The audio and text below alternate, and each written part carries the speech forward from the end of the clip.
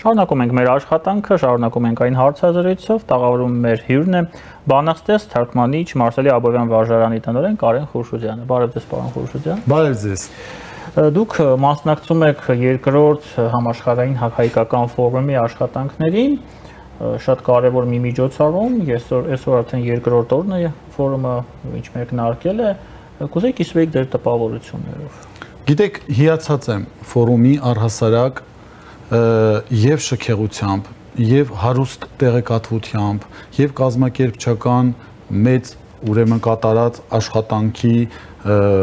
աշխատանքով։ Թույլ տվեք շնորհակալությունս հայտնել հանձնակատարին Զարե Սինանյանին եւ իր ամբողջ թիմակից գոլեգաներին, ովքեր այսքան հրաշալի կերպով իրականացրել են կազմակերպչական ամբողջ այդ փաթեթը նախ օրակարգն է շատ հագեցած, բավականին հագեցած եւ դիպչում է բոլոր սյուժեներին,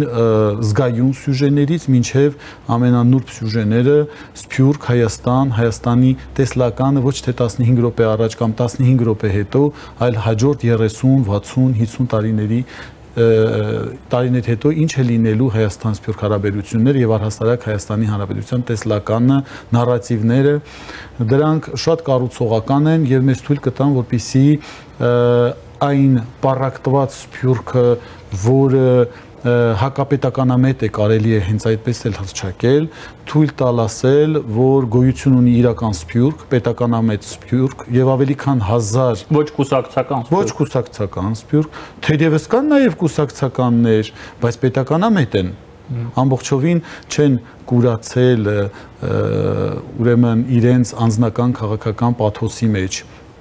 Եվ մենք ավելի քան 1000 հոգի ենք եկած աշխարհի տարբեր անկյուններից, Ավստրալիայից մինչև Միացյալ Նահանգներ կամ հակառակը։ Եվ բնականաբար թիվը կկրկնապատկվեր, կերապատկվեր միանշանակ, քանի որ ժամանակը ոչ բոլորին է հարմար, բայց հաստատ կամքը մասնակցության ցանկության բացարձակ մեծամասնությանն է վերաբերվում, եկել են մեծ սրտով, մեծ ջերմեռանդությամբ, ում հետ շփվել եմ այս ամբողջ ընթացքում։ Իդեպ Ֆրանսիայից ժամանել է ավելի քան 150 մասնակից։ Միայն Ֆրանսիայից։ Միայն Ֆրանսիայից երկրորդ տեղն է համարվում մասնակցության ստատիստիկայի մեջ, եթե բնականաբար հետագայում թվերը չփոխվեն։ Իսկ առաջինը Ռուսաստանը եւ իմ կարծիքով 150 մասնակից Ֆրանսիայից դա իսկապես ջատագովելի է։ Շատ քաջալերել են Պարոն Խոշոջյան, շատ է խոսվում Հայաստանում, երբ որ խոսքը գնում է Սփյուռքի մասին, որ Սփյուռքը միատարր չէ։ Եվ այդ նույն Սփյուռքը, որը Սփյուռքահայը, որը ապրում է Ռուսաստանում, եւ Սփյուռքահայը, որը ապրում է Ֆրանսիայում, եւ Սփյուռքահայը, որը ապրում է Ամերիկայի Միացյալ Նահանգներում, իրարից շատ են տարբերվում։ Այս տարբերությունները, ինչու ոչ հակադրություններ, այս ֆորումի ժամանակ առաջի պլան պլանում հայտնվել են։ Գիտեք, ֆորումի ժամանակ այդ բոլոր տարաձայնությունները ներսփյուռքային վերացել են։ Նախ Սփյուռքում են գտնվում տարբեր ժամանակաշրջանում Սփյուռքում բնակվող մեր հայրենակիցներ, մինչև իսկ Հայաստանից վերջին տարիներում գաղթած հաջողության հասած կազմակերպություններ կամ ձեռնարկություններ ղեկավարող անձինք։ Այսինքն կարելի ասել հետեւյալը, ինչպես քանիցս արդեն ասել եմ, Սփյուռքում չկա միատար Սփյուռք, կա Սփյուռքներ հենց Ֆրանսիայում կա մինչև Եղեռնը գաղթած սփյուռքահայեր, եկեղեցակառույց սփյուռքահայեր, կա Պոլսից գաղթած սփյուռքահայեր, Լիբանանից գաղթած սփյուռքահայեր, շատ քիչ Իրանից, շատ քիչ եւ վերջին ժամանակաշրջանում Հայաստանից հետ վերադարձած ֆրանսահայ, գիտեք, սփյուռքահայ զանգվածը եւ Հայաստանի վերջին տարիների գաղթած։ Այսինքն միայն Ֆրանսիայում արդեն իսկ սփյուռքի տեսակներ կան։ Դրանք շերտավոր են, շատ հաճախ մեկը մյուսի դեմ է պայքարում, բայց մեջները կան մարդիկ, բոլոր ուրեմն այս թվարկածս անձանց մեջ, որոնք պետականամետ են, ցանկացած պարագայում կողմ են Հայաստանի Հանրապետության պետականության պահպանմանը։ Դրանք քիչ են, քիչ սխալ եմ ասում, դրանք շատ են, ուղղակի քիչ թվով ենք եկել Հայաստան, 150-ը քիչ է։ Շատ ավելի շատ կարող էին գալ։ Պարոն Խորշոդյան, դուք հիմա այս տաղավարում ներկայացնում եք Սփյուռքը, ես ներկայացնում եմ Հայաստանը։ Մենք երկուսս էլ հայ ենք։ Եկեք փորձենք հիմա խոսենք եւ հասկանանք, թե որ գաղափարի, որ նպատակի շուրջ մենք կարող ենք բոլորս համախմբվել որպեսզի Հայաստանը դառնա զարգացող, ստաբիլ զարգացող երկիր լավ ապագայով։ Գիտեք, վարչապետը իր զեկույցում 2-3 կարևոր հանգամանքներ առաջ բերեց։ Առաջինը վերանայել հայրենասիրության սկզբունքները։ Վերանալ հայրենասիրության նախքին կարծրատիպերից, որոնք թելադրված են եղել, այսպես ասված, կայսրական իմպերիալիստ կառավարությունների կողմից։ Դուք համամիտ եք այս տեսակետին։ Գիտեք, համամիտ լինել չենք համամիտ չլինել չենք կարող, քանի որ իսկապես մեր վերջին դարերի պատմությունը, եթե չենք խոսում բնականաբար Մովսես Խորենացուց, գրվել է այլ պետությունների ղեկավարության ներքո։ Համաձայն ենք դրա հետ։ Ցավոք սրտի։ Այո։ Եվ ստացվում է այնպես, որ այո, պետք է հիմա առաջին նախապայմանը վերանայել որոշակի սկզբունքներ եւ երկրորդ նախապայմանը, որ պետք է 95% բարերարությունից 5% ձեռնարկատիրությունը շրջադարձել, դարձնել 95% ձեռնարկատիրություն, 5% ցանկության դեպքում միայն բարեգործություն։ Գիտեք, բարեգործություն Ֆրանսիայում էլ կարիք կա։ ABPR կազմակերպություն կա, Resto-Ducœur կազմակերպություն կա, Emmaüs կազմակերպություն կա, միջդեռ մենք խոսում ենք աշխարհի 5-րդ գերտերության մասին, այսինքն մեկենասության խնդիր հենց իսկ Ֆրանսիայում արդեն կա կարիքը դրա, ինչպես Ֆրանսիա ֆինանսական ներասոցիատիվ կազմակերպությունների մեջ։ Այ պետք է այո իսկապես դա էլ եմ քանիցս ասել, մենք պետք է այլևս ոչ մեկի հույսին չդնենք, մեր հույսը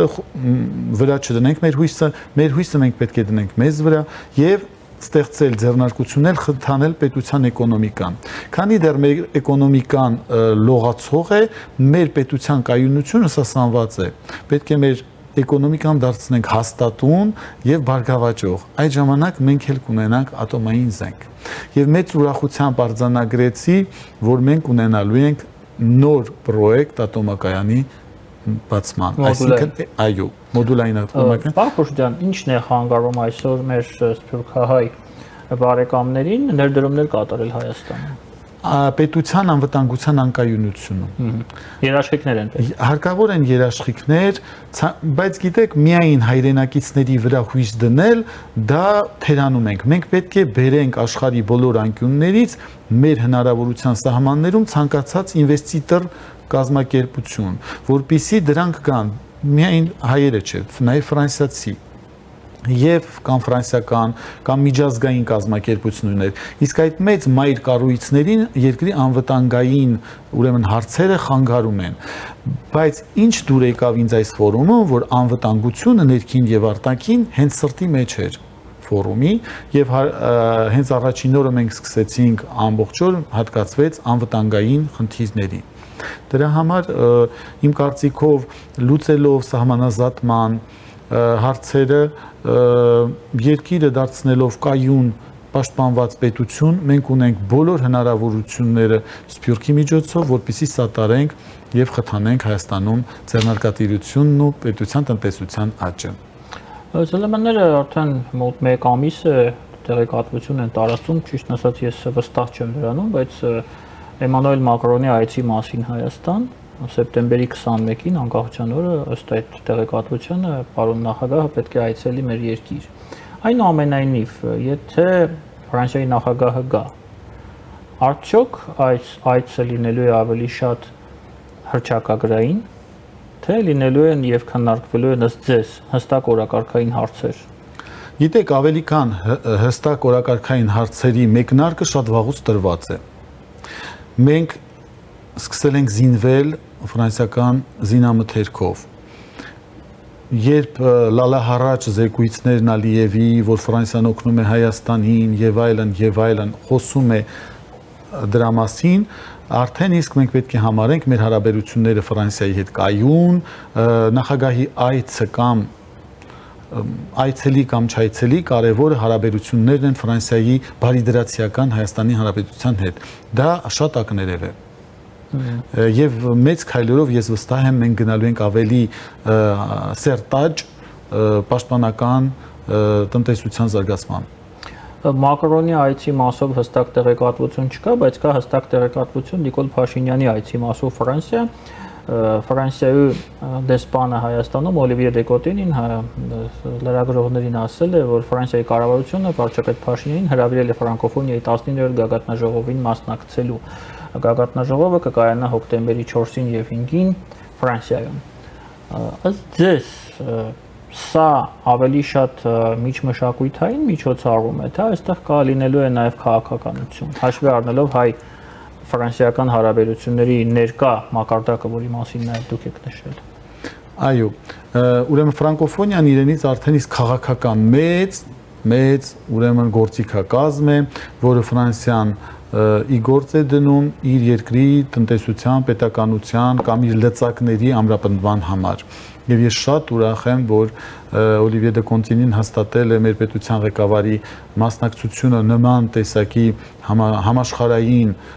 ուրեմն միջոցառման մասնակցության առումով եւ այո հավանաբար կլինեն եւ հետագա տեսլականի վերաբերյալ համաձայնեցումներ բնականաբար պարապ չեն մնալու եւ իմ համար ամենակարևոր հանգամանք կլինի այն որ Հայաստանը կարողանա բաց լեզվով խոսի եվրոինտեգրման հարցի շուրջ սա ինձ համար մեր օրվա արդիական առաջնային խնդիրներից է երբ է Հայաստանը դառնալու Եվրոպա մեկ օր շուտ մեկ ժամ շուտ դա միայն կլինի մեր օգտին։ Միայն միության համար հարկավոր են երկու հոգի։ Մենք ինչքան էլ պատրաստ լինենք, մյուս կողմն էլ պետք է պատրաստ լինի։ Դուք կարծում եք մենք պատրաստ ենք։ Գիտեք, իշխանական մակարդակը։ Իշխանական մակարդակով իշխանությունը երբեք չի արտահայտվելու կողմը։ Իշխանությունը վերարտադրելու է ժողովրդի կամքը իշխանությունը վաղը եթե հայտարարի, գիտեք, գոյություն ունի իշխանական զսպվածություն այդ զսպվածությունից դուրս արտահայտվելը դա մեծ վտանգներով հղի է եւ հարկավոր է որ ժողովուրդը վերարտադրվի իր մտքով, իր գործունեությամբ, իր ցանկությամբ եւ իշխանությունը կատարի նրա Այսինքն Եվրախավ Եվրաքվե հա- նախաձեռնությունը ըստ ձեր տրամաբանությամբ իրականում իշխանությանը ավելի շատ աջակցություն է։ Աջակցություն է միանշանակ։ Եվրաքվեն բայց կա նաև մի բաներ, որոնք մենք տեղյակ չենք, հնարավոր է պետության ղեկավարների ուրեմն մակարդակով ասեն սպասեք մի փոքր, դեռ ժամանակները հարիս չեն։ Սպասեք 6 ամիս, սպասեք 3 ամիս։ Իշխանություն իշխանության կարող է նման բան ասել, բայց ժողովրդի ձայնը լսելով իշխանությունը կարող է ասել, գիտեք ինչ, իմ ժողովուրդը պատրաստ է արդեն։ Սա կարևոր լծակներ են։ Հարկավոր է անպայման, որպիսի ժողովուրդը արտահայտվի, ասի ինչ է մտածում, դա իսկական բաստիոնն է դեմոկրատիայի եւ իշխանությունը ի գործ դնի նրա կամքը։ Ֆրանսիան ունի նոր կառավարություն, վարչապետ Միշել Բարնիեի գլխավորությամբ։ Միշել Բարնիեն հայտնի է մեզ մոտ նրանով, որ Ադրբեջանում non grata person է եւ հատկանշական է, որ հայտարարվել է այդպիսի person Արցախ այցելելու համար պատիժը այդտեղից է գալիս ընդհանուր առմամբ ձեր գնահատականով ինչպիսի գործունեություն կարող է ծավալել այս կառավարությունը առաջի հերթին Հայաստանի հետ հարաբերություններում, որքան որքանով է դա նպաստելու մեր երկրների միջև հարաբերությունների զարգացման գործընթացին։ Գիտեք, առաջի անգամ 5-րդ հանրապետության ընթացքում Ֆրանսիան բախվել է մի իրականության հետ, երբ իր parlamentum կան 3 տարբեր ուժեր եւ ըստիս 3-ից ոչ մեկը չի ցանկանում աշխատել մյուսի հետ եւ վերացման վերացման սկզբունքով Մակրոնը չցանկացավ իշխանությունը հանձնել ազգային համախմբան թիմին Front Rassemblement National Front Populaire-ին, այսինքն ժողովրդական ճակատին նույնպես չցանկացավ, վերջում մնաց ամենակիչ ձայն հավաքած իշխանությունը հանրապետական, որ նա կարող էր իր շարունակականությունը պետականության, անվտանգային եւ առասարակ տնտեսական վերջին տարիների ձեռնարկած գործունեության շարունակականություն ապահովելու համար վստահեր հանրապետական կուսակցության ներկայացուցիչ Միշել Բաղնիեին։ Թե Միշել Բաղնիեն որպես անձ persona non grata է, դա ընդունելի է, բայց աշխարհի 5-րդ գերտերության վար որպես վարչապետ դա արդեն կմոռացվի Ադրբեջանի կողմից եւ շատ արագ եւ կարծում եմ արդեն իրենք վաղուց պատրել են այդ փաստաթղթերը։ Շատ շնորհակալ եմ ձեզ պարոն Խորշուդյան հետաքրքիր զրույցի համար։ Մեր շնորհակալ։ Մեր հյուրն էր բանաստեղծ թարգմանիչ Մարսելի Աբոդյան վարժարանի տնօրեն Կարեն Խորշուդյանը։ Մենք կվերադառնանք տաղավար կարճ դաթարից հետո։